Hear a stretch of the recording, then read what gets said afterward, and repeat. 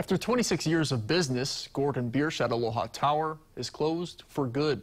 Known for its live music and oceanfront view, customers, even some employees we spoke with, were surprised to find out that last night was the restaurant's final night of business. Those who showed up today found a flyer on the door.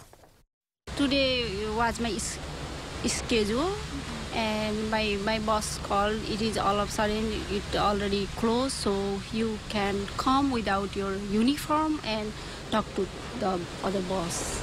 Actually, I wanted to take a walk here because I felt like it might be a hoax of some kind. We just had dinner here last night and no one said a thing. There was a birthday party going and music. And, you know, I've been eating here for 20 years, so it was shocking. Hawaii Pacific University owns Aloha Tower. In a statement today, they said they were surprised to learn that Gordon Biersch shut down operations and is leaving Hawaii.